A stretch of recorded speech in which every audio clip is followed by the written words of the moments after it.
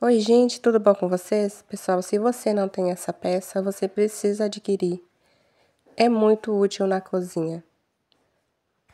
Ele vem com essa peça para você fazer omelete e outras coisas.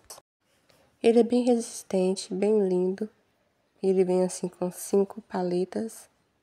Ele é bem afiado, muito cuidado na hora de lavar, tá? Aqui eu vou picar essa, esse repolho para fazer minha salada preferida. Aqui é só você encaixar, colocar o produto.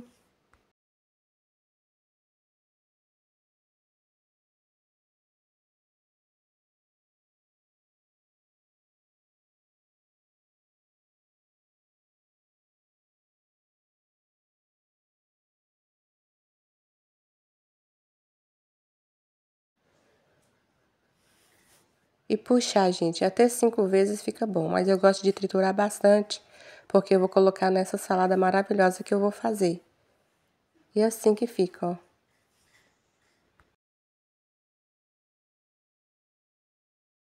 O dia que você estiver na correria, só fazer uma saladinha rapidinho, pica tudo, joga no prato, pica carne moída, tá? Frango também eu consigo fazer.